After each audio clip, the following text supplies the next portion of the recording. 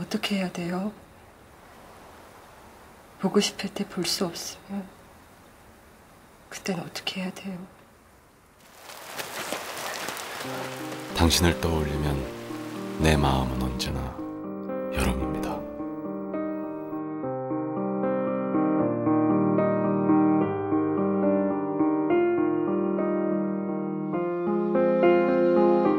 보고 싶었나 봐요. 나. 아니 그거 아닌데.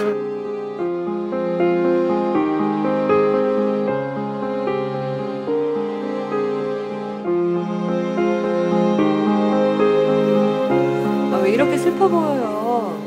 웃어요. 웃는 게 서경 씨는 훨씬 예뻐요.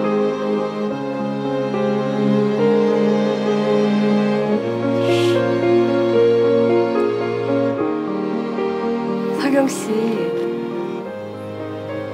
참 좋은 사람인 것 같아요.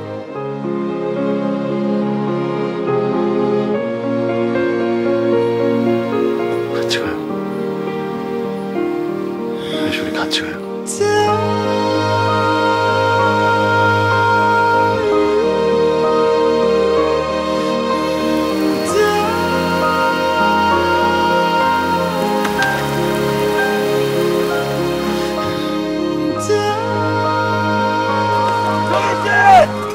모르는 사람입니다. 맞아요. 저이 사람 몰라요.